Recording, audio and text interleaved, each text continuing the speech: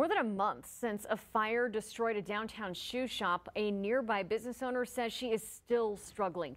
She says foot traffic is much lower because the fire prompted the closure of part of South El Paso Street.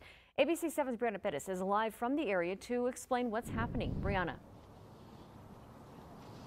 Yeah, Stephanie, over a month ago, this street was filled with first responders battling a fire at this building. It has since been demolished, but business owners in the area now say it has created a whole new problem.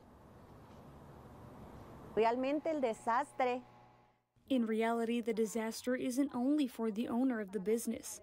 The disaster is right now, in this moment, for all the businesses left here. Luceo, owner of Uno Plus El Paso, says since the fire, she's not been able to sell 10% of her usual sales and has also had to cut employees' hours. It's been over a month since a local shoe store was engulfed in flames in downtown El Paso. The building has now been demolished, but what is left has caused issues for the surrounding businesses. The city has closed part of South El Paso Street to traffic. Although businesses are still open, they tell me the blocking of the street has decreased foot traffic and has driven people away since there is no place to park. Right now, we had a customer that uh, came in and, and told us, I thought you were closed.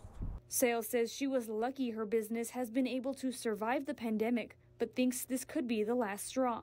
She is afraid of what will become of her business if the city does not step in to help find a solution. No queremos que nos regalen nada. We don't want them to give us anything. We just want them to help keep our businesses open and find another solution like opening part of the street.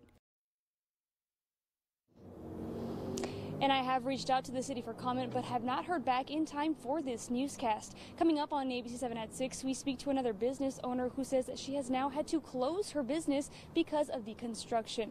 We're now reporting in downtown El Paso. Brenda Perez, ABC 7.